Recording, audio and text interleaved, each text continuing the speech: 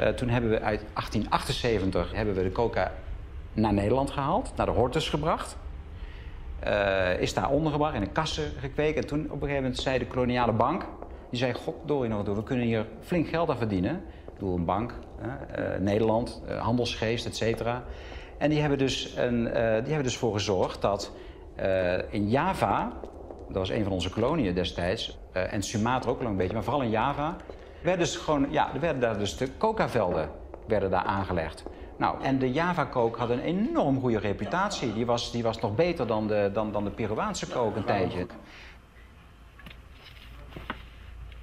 Tegen het einde van de 19e eeuw, hè, dus, zitten dus hadden we ze jaarlijks, en dan blijkt uit de jaarverslagen van de koloniale bank, tussen de 34 en de 81 ton coca-bladeren per jaar. Dat was nog niet zoveel, maar die export die steeg tot 1300 ton in 1914. Toen hebben ze op een gegeven moment gezegd van nou, de zaken gaan zo goed, we richten in 1900 de NCF op, de Nederlandse cocaïnefabriek. En die is toen op een gegeven moment, en volgens mij was het eerste gebouw was ergens op de Schinkelkade. Dat gebouw staat er nu niet meer, dat is weg.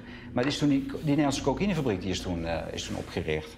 En uh, ja, dat kon dus eigenlijk naar believen konden dus gewoon geëxporteerd worden naar de wereld. Dan hebben we dus ongeveer een halve eeuw de markt gedomineerd, maar was cocaïne ook gewoon legaal dat in 1928 lag er nog een miljoen kilo coca-bladeren. Die lag hier nog te wachten uh, voor export. Dus zie je eigenlijk dat, uh, dat, dat cocaïne steeds populairder werd in Europa.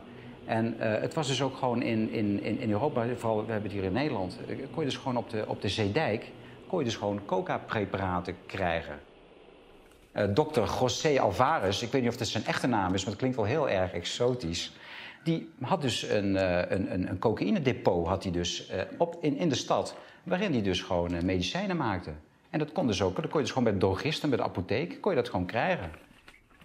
Nou, dat was dus een chemicus en die, die, die, die maakte dus coca-wijn en stuurde dat naar politici, naar de paus, naar de Amerikaanse president.